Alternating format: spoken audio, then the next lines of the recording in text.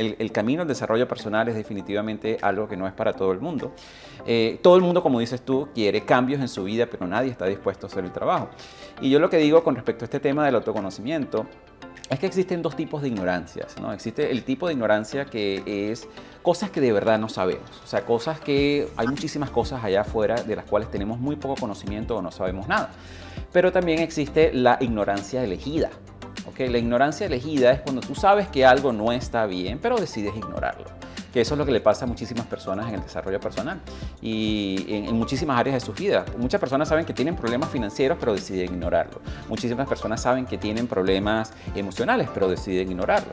¿okay? Pero ya eso es una ignorancia elegida. Y hay varias maneras de aprender en la vida y una de las, una de las maneras es aprender acerca de la misma manera que estábamos conversando al principio, que es esperas a que toques el fondo y de ahí te impulsas, pero ese camino lleva muchísimo el sufrimiento.